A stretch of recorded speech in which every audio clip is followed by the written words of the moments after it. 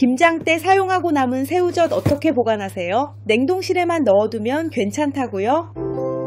새우젓을 보관할 때 저지르는 사소한 실수로 인해 비린내가 나거나 맛이 변할 수도 있어요. 오늘은 내년 김장에도 감칠맛 그대로 살려서 먹을 수 있는 새우젓 보관 꿀팁을 알려드릴게요. 새우젓을 보관하기에 앞서 맛있는 새우젓부터 골라야겠죠? 첫째로 연한 분홍빛을 띄어야 돼요. 색이 너무 진하거나 붉은색을 띠는 건 숙성이 과했거나 저장 상태가 좋지 않을 수 있어요. 둘째로 비린내가 없어야 돼요. 새우젓은 특유의 향이 나긴 하지만 역한 비린내가 나면 안 되고요. 살짝 맛을 봤을 때도 비린맛 없이 너무 짜지 않아야 돼요. 참고로 신선하고 맛있는 새우젓은 새우 한 개만 먹어도 감칠맛이 돌아요. 셋째로 새우가 흐물거리지 않고 탱탱하면서 크기가 일정한 걸 골라주세요. 이렇게 꼼꼼하게 새우젓을 골랐다면 맛이 변하지 않게 잘 보관해야 되겠죠? 새우젓은 냉장고에 보관하는 게 기본인데요. 온도 변화가 잦은 냉장실보다는 냉동실에 보관하는 걸 추천드려요. 냉동실에 보관할 때 용기에 담긴 그대로 보관하는 경우가 많은데요. 통째로 보관하면 꺼냈을 때마다 공기가 닿게 되고 아무리 깨끗한 숟가락이라도 넣었다 뺐다 하는 게 좋을 리 없겠죠? 새우젓의 신선도와 맛을 지키고 싶다면 소분해서 보관하는 게 가장 좋아요. 작은 사이즈의 지퍼백이나 밀폐용기에 소분해서 담는 방법도 있고요.